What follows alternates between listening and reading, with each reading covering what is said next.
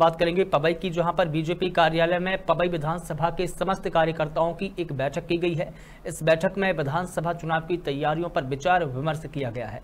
बताया जा रहा है कि 27 अक्टूबर को पूरे दल बल के साथ पन्ना में तीनों विधानसभा में बीजेपी प्रत्याशियों के नामांकन, मुख्यमंत्री शिवराज सिंह चौहान और प्रदेश अध्यक्ष विष्णु दत्त शर्मा यानी कि बी शर्मा की मौजूदगी में जमा किए जाएँगे। इस दौरान पूर्व जिला अध्यक्ष जयप्रकाश चतुर्वेदी ने कहा कि सभी कार्यकर्ता एकजुट हैं और बीजेपी परिवार में सभी एक साथ मिलकर विधानसभा के तीनों प्रत्याशियों को विजय बनाएँगे।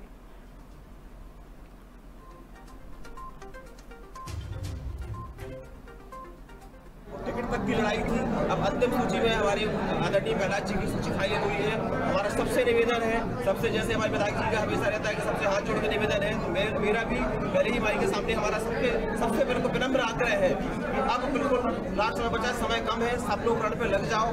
जहाँ जहाँ कार्यालय है, जहाँ जहाँ जिसकी जहाँ ज़रूरत है क्लियर करें। जो जितना सक्षम है, पूरी ताकत से लगे। हमारे प्रहलाद जी ने कोई ऐसा कोई काम नहीं किया है उनके पास करोड़ों रुपए रखा हुआ है। मेरा सबसे आग्रह है कि हम सबका चुनाव है, ये हमें सबको मिलकर चुनाव लड़ना है। जब हम प्रहलाद जी को जिताएँगे तो मध्य प्रदेश सरकार की हम हाथ मज़बूत कर पाएँगे। इसलिए मेरा सबसे पवई विधानसभा,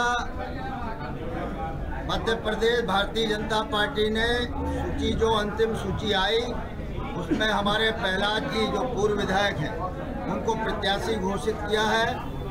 और जितने लोग भी टिकट मांग रहे थे, आज सभी लोग यहाँ उपस्थित होकर सबने एक मत से ये कहा है कि हम भारतीय जनता पार्टी के प्रहलाद जी को पुनः विधायक बनाकर मध्य प्रदेश में सरकार बनाएँगे और केंद्र में नरेंद्र मोदी जी के हाथ मज़बूत करके इस प्रदेश और देश का विकास करेंगे।